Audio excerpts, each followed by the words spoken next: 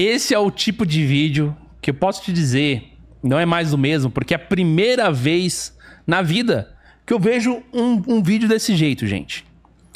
A Red Pill arruinou a minha vida. Em que sentido arruinou? Acho que não, hein? Talvez sim, talvez não. Vamos ver o que, que esse cara tá querendo dizer com esse vídeo, tá? Nós vamos reagir aqui um vídeo do Thiago Carvalho falando sobre um cara aí que mandou um e-mail para ele com uma história bem diferentinha, tá? ah, e deixa o seu like, se inscreva no canal. O Submundo Intelectual ainda tá vivo, tá, gente? Estamos aí. Bora para mais uma semana de conteúdos após uma semana de vacância. E é isso aí, bora lá. Nosso e-mail tem como título, Brunão, Problema Profundo. Quando eu leio esses títulos, já fico meio assim. Será que é profundo? É porque o sofrimento eu sei que é profundo. O sofrimento de um jovem que não ganhou o iPhone 16 e tá só com 15 Pro Max e o pai não deu o 16, o sofrimento ele pode ser até tipo, real, entendeu? Você não duvida do sofrimento das pessoas. Eu acho que o sofrimento tá lá. Você duvida do motivo. Sim, você tem que convencer. Terapia é meio que isso. Convencer a pessoa de que o, o sofrimento dela, ela não precisa estar tá carregando aquele sofrimento, se ela não quiser. Ele trouxe aqui, problema profundo. Mas resumindo para vocês, ele entrou, no, ele entrou numa vida de, de homossexualidade por causa de misoginia. É mole? Por causa. É isso que eu falo. Eu falo conteúdo, às vezes, no meu canal aqui, que tem a ver com relacionamento, mulher. E aí começam a falar, pô, Thiago, isso é Red Pill. E eu faço questão de falar, não. Pode até ter alguém Red Pill que tá falando coisa parecida, mas não, não me coloca nesse movimento Red Pill. Porque na prática é isso aqui que acontece, tá? Então você que tá entremeado nesses conteúdos Red Pill, não se iluda pelo que teoricamente é a Red Pill. Tenta perceber o que na prática são as pessoas que estão nesse grupo. Nesses comentários, nesses fóruns, nesses discords, nesses grupos de Telegram, sei lá onde vocês ficam se reunindo. Olhem pro comportamento, né? O que de fato essas pessoas são, e olhem para os frutos pessoais na vida de cada, de cada uma dessas pessoas, tá? O que elas estão fazendo. Isso é a realidade, isso é mais importante do que a teoria. Não, Thiago, mas na teoria a Red Pill só fala isso também, que você tá falando. Na, na teoria não, não tem misoginia, você entendeu? Olha muito bem os frutos que isso está causando na nossa juventude. E não é só com esse rapaz aqui. Não é a primeira vez que eu recebo coisa desse tipo, hein? Vamos ler o e-mail aqui. Preocupante isso aí, hein? Preocupante. Quer dizer, então, que o cara entrou na vida de homossexualidade por causa da pílula vermelha.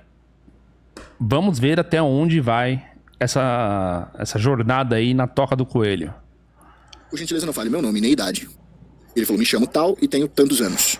A gente vai dar o nome dele aqui de. Tem que fazer a lista lá do nome. A gente vai dar o nome dele de. A gente já falou Quinzinho. Franjinha, já falamos? É que ele é meio baitola, então franjinha. Franjinha. Tem um anjinho lá. Ah, mas anjinho não é nome bom. Não, anjinho não, porque não vai pro céu, né? Tô brincando. Isso aqui é. Pitadas de humor aqui no nosso canal. Fiquem tranquilos. Tá? Uma cortada nessa frase. Muito bem. O Franjinha, solteiro. Vou falar nem sua profissão, porque também pode te expor de algum jeito. Eu gosto muito de ler. Já faz uns seis anos e leio filosofia, psicologia, história, política, física, metafísica, física quântica, livros de autoajuda e etc. Tento ler bastante coisa porque vi que me ajudou a me sentir bem. E sei inglês avançado e básico de alemão. Gosto de me alimentar corretamente, sou um viciado em academia e anabolizantes. Infelizmente estou preso a esse vício. Principalmente trembolona, mas estou reduzindo. É, trembolona é loucura. Até para quem é atleta e vive disso, a, a, maior parte deles não toma porque é loucura. Ainda mais uma pessoa que não compete. Por que, que você tá tomando trembolona, cara? Trembolona. Tomar bomba, hormônio, testosterona, já é um pouco de risco para a saúde mental. Se você já tem alguma coisa. Então, se o cara já é ansioso, ele vai ficar, provavelmente vai potencializar. Se o cara já tem uma propensão à insônia, talvez dê mais. Agressividade, talvez dê mais. Se o cara tá com a cabeça no lugar e ele usa, é provável que não tenha efeitos colaterais relevantes no sentido de saúde mental. É possível, mas não é garantia também. Mas trembolona, bicho. Puta que pariu, né? O, o Thiago, ele, ele é psicólogo, psicanalista? Esqueci agora qual é a formação dele. Terapeuta, com certeza, mas talvez, pelo que eu entendi, ele, ele trata de, a partir de uma linha. Eu queria entender qual é a linha de trabalho dele. Porque eu já, eu já pararia por aí, mano. O cara se diz interessado num monte de coisa, ao mesmo tempo que ele treina muito bem, ao, mas mesmo assim tem que tomar bomba. Ficou viciado em bomba, inclusive em trembolona. Um cara que toma bomba, trembolona acima de tudo, esse cara ele não. Tudo que esse cara tá falando, velho, tudo que esse cara tá fazendo, tá muito, mas muito alterado. Entendeu? Que é trembolona acima de tudo, como ele falou, é loucura. Então, não dá pra, não dá pra levar muito a sério o que o cara tá dizendo, não. Mas vamos ver o que esse cara tá dizendo. Bom, ele continua aqui. Já fui viciado em pornografia, graças a Deus, que não sou mais. Porém, de vez em quando tem a recaída. Mas algo nada anormal. Uma vez na semana, ou tem vezes que é uma vez a cada duas semanas. Bom, pra mim tá tudo bem. Bom, primeiro eu disse tudo isso porque eu me esforço em melhorar e enxergar meus erros e corrigi-los. Evitar ser egoísta, pensar sempre no próximo e ter plena consciência e responsabilidade sobre os meus atos e a situação do meu presente. Aí ele começa aqui o problema de fato. Até 2021, eu era uma pessoa heterossexual. Isso não, eu, eu não acredito em eu era heterossexual, eu era homossexual e virei heterossexual. Você é o que você é. Agora você pode ter começado a agir como tal, né? Não existe isso aqui. Até 2021 eu era uma pessoa heterossexual. Vamos continuar. Porém, todas as minas com quem me relacionei eram complicadas. Mas isso é mulher, meu amigo. Ou talvez eu que não as compreendia. Pode ser, olha, ele tá, botando, ele tá cogitando que o erro, o problema da, da situação seja ele. Isso já é, é autoconsciência, isso é importante, isso é valioso. A pessoa que tem uma quantidade boa de autoconsciência, ela nunca, ela muito provavelmente não vai se render, se perder completamente dentro das neuroses. Porque sempre vai ter essa coisa dizendo, talvez eu que não as compreendia. Ele tá cogitando uma realidade em que elas não eram complicadas. Ele que tinha poder de compreensão baixo. Essa pessoa tende a ser um pouco mais saudável. Olha só, é. Nunca tive um relacionamento. É, talvez eu que as não compreendia e nunca tive um relacionamento. Bom, eu sempre me senti frustrado com mulher e eu já conheci o movimento Red Pill, olha aí. Me senti representado e entrei em vários grupos. Uma coisa que eu percebi é que compartilhado é que é compartilhado muita misoginia. Olha aí. Com certeza também eram pessoas frustradas. É isso que eu tô dizendo. Teoricamente, o Red Pill é um movimento de libertação, de compreensão, né, de compreensão de si mesmo. Red Pill por quê? Eu prefiro tomar a pílula da verdade, que é né, a analogia lá do Matrix, do que tomar a pílula azul e ficar dentro de um mundo de fantasia. Então eu prefiro tomar a pílula vermelha que vai dizer a verdade. E existe de fato uma verdade escondida sobre o desejo feminino. Né? Ou seja, mulheres geralmente mentem quando elas estão descrevendo um homem ideal. Isso não é tanto mistério assim, porque você vê o discurso e você vê na prática o que, que acontece. Aí você começa a ver e falar, pô, tem uma verdade para descobrir que está por baixo dos panos. E a questão é, por que, que elas estão descrevendo um homem ideal dessa maneira, mas na prática elas ficam com esse tipo de homem? O que, que acontece biologicamente? É, tem lógico, tem fator hormonal no meio, tem fator até, sei lá, arquetípico no meio, né? Uma coisa ancestral que ficou né, impressa na, na, na, na alma humana. Ó, o Tiagão aí, ó, conhece, hein? Conhece o Nessa Ram. Nessa Ram Alita, né? Uh, a trilogia dele, principalmente aquele começo, como lidar com as mulheres. Basicamente isso que ele tá dizendo. Tem fator comportamental, tem fator social. É uma mistura de tudo isso. Então a gente vai. Né, se você quer de fato descobrir a verdade, você tem um, uma inclinação para isso, você consegue. Mas a sua motivação tem que ser a verdade. E é isso que eu tô dizendo. Esses caras, tipo esse cara aqui, e o que ele tá relatando que viu desses grupos, são caras que vêm a partir de uma frustração e, portanto, de um sofrimento, e, portanto, de uma compulsão por resolver esse sofrimento. Então, eles não estão em busca de, cara, eu vou, de um ponto de vista neutro, observar a realidade. Óbvio que ponto de vista neutro 100% ninguém tem, mas você, né, a nível, tipo assim, a, a título, digamos, de conhecimento e de verdade, você tem que tentar tirar o eu, o máximo da equação e botar, né, tentar enxergar com outras lentes, lentes mais neutras. Isso não acontece. São pessoas que estão sofrendo porque não estão recebendo a quantidade de afeto e atenção feminina que gostariam e acabam entrando nesse mundo de descobrir a verdade, mas na verdade é um lugar para se reunir com outros caras que também estão sofrendo, falar coisas que o culpado é quem está lá fora, o culpado por nós estarmos no sentido assim, é uma malvadeza que está sendo feita aí no mundo, e nós aqui vítimas estamos aqui nos reunindo para sermos menos vítimas, pelo menos na cabeça deles. Na verdade, tô... Tá, ele pode até dizer que dentro dos grupos, etc, ainda bem que eu não tenho nenhum grupo, eu extingui todos os grupos possíveis só tem um grupo com outros criadores de conteúdo e alguns membros mais antigos, assim, que é para trocar uma ideia, enfim, bibliografia, indicação de livros e tal. Mas, beleza, pode, pode se dizer que esses são os grupos, mas não é a totalidade, tá? Até porque grande parte dos produtores de conteúdo, tá? Não estou só falando de mim, mas grande parte dos produtores de conteúdo, eles colocam sim a autorresponsabilidade acima de tudo. Então, desde o início, autopertencimento, autorrealização, autorresponsabilidade. Os três As que são necessários para todo homem. Sem a autorresponsabilidade, cara, você vai ficar culpando os outros. Vai ficar falando do mundo e etc. Você não vai focar no que você pode resolver. Não vai focar no, no seu treino, no seu estudo, no seu dinheiro, você não vai focar na sua vida, você não vai melhorar em nada, você não vai se dar bem com as pessoas, você não vai aumentar seu conhecimento, vai aumentar seu network, você não vai produzir nada de efetivo no mundo. E esse é o problema, tá? Respondendo bem co coerentemente, ele pode dizer que há isso nos grupos e etc. Porque realmente as pessoas chegam sentidas de uma certa frustração, são ressentidas com uma certa realidade, porque às vezes o cara ele foi lá e fez tudo que ele pensou que ele poderia fazer para garantir aquele relacionamento, e a mulher foi embora e etc. Porque ele não conseguiu identificar exatamente a psicologia feminina da melhor maneira. E isso deixa o cara frustrado, isso deixa o cara é, com sim um, um, certo rancor, mas que isso passa na maioria dos casos. Inclusive, eu queria que você deixasse seu comentário aí a respeito disso. Tá? Se você já superou, quanto sua vida melhorou depois da Red Pill. Eu acabei de voltar de um podcast com o Verdun e a gente estava falando sobre isso, né? O pessoal lá que me segue da equipe dele disse exatamente isso. Mas enfim, vamos lá. Se tornando mais vítimas e demonizando um fator externo, esquecendo de si mesmos. Não digo que é todas as pessoas, que são todas as pessoas desse movimento que são assim, mas grande parte é motivado por ressentimento. Isso nunca pode dar bom, como vamos ver aqui agora a partir da continuação desse e-mail. Me senti representado, entrei em vários grupos. Uma coisa que percebi é que é compartilhado muita misoginia. Com certeza também eram pessoas frustradas. Esse ódio foi crescendo em mim, e a última mina com quem me relacionei, fulana, Magali, foi em 2021. Fiquei com raiva sobre o desfecho do que aconteceu, e então eu jurei para mim que nunca mais me relacionaria com mulher e me tornaria gay. Porque achei que fosse ser feliz. Bom, raras vezes me relacionei com outro cara, porque eu me atraio por pessoas femininas. Então é um cara hétero.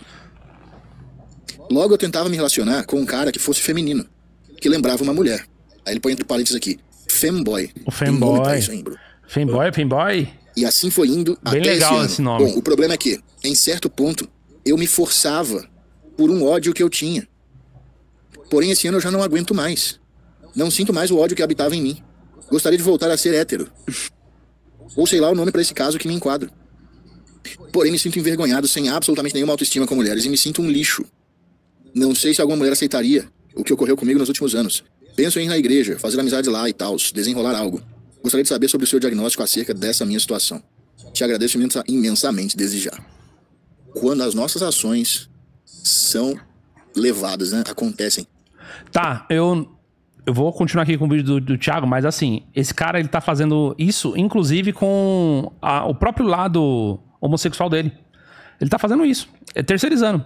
Não. Aí, por causa dos grupos que compartilhavam coisas, aquilo foi crescendo dentro de mim. Por causa da mulher que eu me relacionei, eu prometi eu mesmo que nunca mais me relacionaria com mulher, por causa do externo. Por causa, nunca por causa dele. Cara, não é assim que funciona, não. Que isso, velho. Então, ele tá terceirizando, uma hora ele bota. É, é um cara que ele certamente ele não tem equilíbrio. Uma coisa que vocês podem falar o que vocês quiserem de mim. Eu sou um cara altamente estável. Eu, é minha, minha personalidade. Eu construí minha personalidade para ser um cara altamente estável. para ser um cara. Uma estabilidade de caráter que é o seguinte, mano. É, eu, eu, sou, eu sou de um jeito. Pronto. O Júnior é uma coisa. Pode não gostar, mas eu sou desse jeito. Sou um cara que não cria contenda. A grande parte dos problemas que existem entre, inclusive, produtores na internet são problemas de, de comunicação, no sentido de um pegar uma coisa e, e falar a, sobre aquilo e isso chegar em outra pessoa, mas grande parte, das, grande parte dos problemas, 90% se resolvem ali, ó, sabe? Com pessoas trocando ideia, principalmente sabe, de mente aberta, querendo entender o que o outro tá dizendo. Se todo mundo chegasse assim para conversar com as pessoas dessa forma, 90% dos problemas da internet, das tretas, seriam resolvidas. Entendeu? E eu sou esse cara. Como eu falei, eu tenho uma estabilidade de caráter. Sou sempre, uma, sou sempre a mesma coisa. Agora, o camarada aqui, uma hora ele é, uma hora ele é hétero, uma hora ele é gay, uma hora ele é viciado em bomba e depois viciado em pornografia. Esse cara não tem estabilidade nenhuma, velho. Que mulher vai ter, uma, vai ter um relacionamento com esse cara? Não, esquece a Red Pill. Esquece a terapia. Que mulher vai ter relacionamento com um cara que ele não tem estabilidade? Psicológica. Entendeu? Quando, pra você ter um relacionamento com uma mulher, você tem que falar assim: ó, eu sou isso. Eu prometo isso, eu te entrego aquilo. Nosso combinado é esse. Você tem que cumprir todos os dias A sua palavra. Ele não tem que ser uma coisa é, que você tem que ficar se cobrando e etc. Porque para você tem que ser normal, tem que ser natural. Você tem que ser uma pessoa que você é daquele jeito, você não pode ter máscara. Agora, se uma hora você. Não, se vicia em pornô. Depois você se vicia em bomba. Tá na trembolona. Depois você se vicia em. Entendeu? Não dá, cara, não dá. Porra, de boa, velho. Não dá pra levar esse cara a sério, mano. Você queria uma desculpinha para poder ficar com o homem. Resumindo, é isso. Entendeu? Aceita, cara. É o seu, é o seu desejo, tá tudo certo.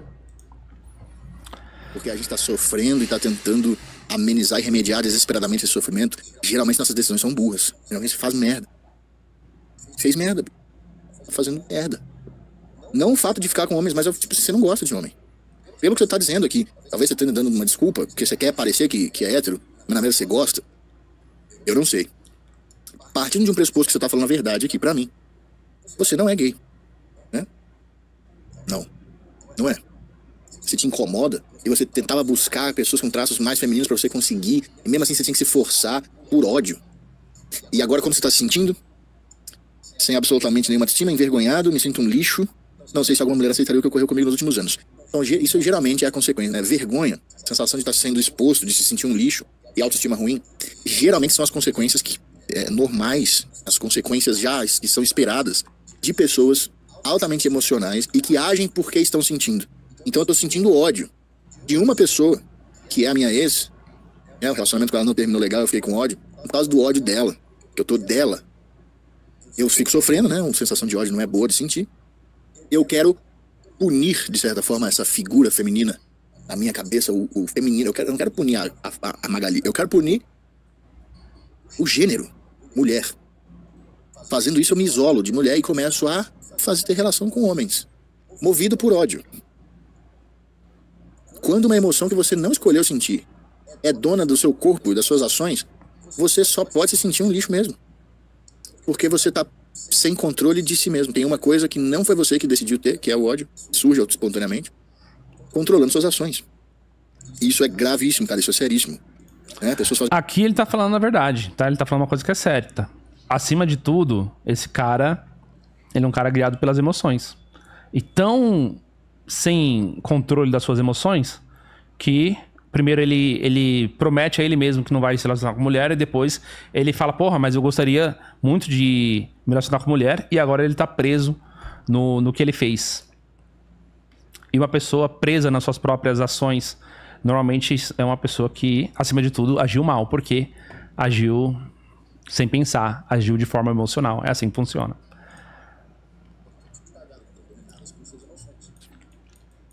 É, então vocês estão, vocês estão entendendo? É, é isso aqui é a consequência prática de entrar em grupo Red Pill. Vamos ver. Você pode ser o Red Pill. Vamos tirar esse termo Red Pill. Vamos botar, né, pelo menos a tradução, que é pílula vermelha. Verdade, vamos botar verdade. Você pode ser um discípulo da verdade, um interessado pela verdade. Tem verdades sobre a sociedade que não estão presentes no discurso oficial, né? Que a gente vê por aí, nos influencers falando. Aí homem que liga para passado de mulher é inseguro. É, então esse é o discurso oficial. Aí você começa a perceber, pera, existe uma verdade. Muitas coisas que são discurso oficial são a verdade mesmo. Mas algumas coisas que são discurso oficial não são a verdade. O mundo é assim. Então você pode ser um interessado na verdade. Não tem problema nenhum. Cuidado quando isso vira ideologia. Cuidado quando isso vira grupo. Tá? Você pode fazer isso de forma autodidata, de forma interessada verdadeiramente sozinho na sua casa. Sem fazer parte. Investiga internamente, você vai concordar comigo se você realmente for honesto investiga internamente a necessidade de fazer parte de um grupo, de se, de se corresponder com pessoas que estão na mesma situação. Você vai ver, não é motivação pela verdade, é a, é a tentativa de aliviar a dor. Caralho, vou ter que concordar com o Thiago. Que vídeo bom, velho. Thiago colocou o diagnóstico no momento certo. Tirando essa parada de que o, a consequência, é uma pegadinha que ele coloca, a consequência de entrar em grupo Red Pill não é o cara virar gay. Não é a consequência. A consequência é, acima de tudo, o cara querer pertencer a um grupo. E é esse um problema. Cara, isso daqui é uma coisa que tem que ficar claro para todo mundo. Acima de tudo, acima de Blue Pill, Red Pill e etc. Red Pill não é um rótulo, nunca foi. Nenhum produtor sério vai bater no peito e dizer que isso é um rótulo que você tem que levar para sua vida. Eu lembro da vez que a gente foi no, no, fizemos episódio lá no Inteligência, eu, o Ricardo e o Bruno. A mesma coisa que a gente está dizendo a todo momento é: isso aqui é uma ferramenta, isso aqui é um conhecimento, usa como quiser, né? Foda-se a sua pio. Não é um rótulo, não é uma identidade, não é um grupo para você pertencer. Isso me perguntaram, se eu não me engano, na na terceira ou quarta vez que eu estive no Pânico, me perguntaram qual era a diferença do, da Red Pill e do feminismo. É isso, a gente não quer que você. A gente não quer formar um grupo, a gente não quer que você entenda, isso como uma, uma identidade. Muito que você. Muito pelo contrário, não é para você sair militando por aí. A gente sempre falou isso. É uma coisa que você tem que absorver pra sua vida, entendeu? Então, é. Isso daí que ele tá falando a verdade, cara. Tornar tudo um grupo, legal você ter um grupo onde pessoas estão falando sobre diversas coisas, inclusive sobre a Red Pill. Tá? Diversas coisas. Mas você entende que essas pessoas, elas estão. O Nietzsche dizia que a, a, a relação entre qualquer mentor, conhecimento e, enfim, doutrina tem que ser mais ou menos a seguinte: você encontra uma pessoa à beira do caminho, que é o cara que sabe aonde chegar. Você aprende com ele, verifica a sua história, biografia, quem é esse cara, depois você amadurece e chega um determinado momento você se despede, vai viver sua vida. Tem outras coisas para você fazer. Tem outras pills, outras questões para você avançar na sua vida. Você agradece, reconhece e se despede. Acabou. Entendeu? Essa necessidade, qual que é. Aí ele falou corretamente. Qual que é a necessidade do grupo? Discorda. Esse cara aqui, por exemplo, se você descer nos comentários, você vai ver. Quando o e-mail, o e-mail for gay, o nome do quadro deveria ser paciente aberto. Claro. O cara usou a Red Pill como muleta para, se, para liberar a porta dos fundos. Aqui. Aqui, quer ver? Uh, vamos lá. Quem cai nessa lorota de Red Pill, considerando as coisas ruins do movimento, consequentemente fiquei mais amargurado, deprimido e em estado de desconfiança o tempo inteiro acredito que se trata não de um movimento para a melhoria do homem, sim um canal para deixar a tristeza que esses caras sentem por terem tido relações frustradas ou a própria frustração com eles mesmos. Aí tá. Aqui um, vamos ver. Dois. Um cara que, que virou Red Pill é exatamente isso. Era um cara solícito e gentil, mas que sentia o arauto da moral e dos bons costumes e não conseguia uma namorada e isso gerava frustração. Com o tempo, o fato dele não compreender porque nenhuma mulher queria ele, mesmo esbanjando tantas qualidades, fez ele pegar birra de mulher e hoje ele é um red pill declarado. Essa é boa. Uh, ele tem razão sobre a sensação de medo. Tinha um namorado que amava, ele começou a consumir os conteúdos Red Pill, começou a fazer vários comentários nojentos e eu comecei, comecei a sentir medo dele. Terminei e sinto nojo dele. Aham. Uhum. Enfim. Tem todo tipo de comentário aqui, né? Ai, ai. Comunidade Red Pill é uma comunidade de homens que querem muita aprovação de outros homens. Aí, vamos lá.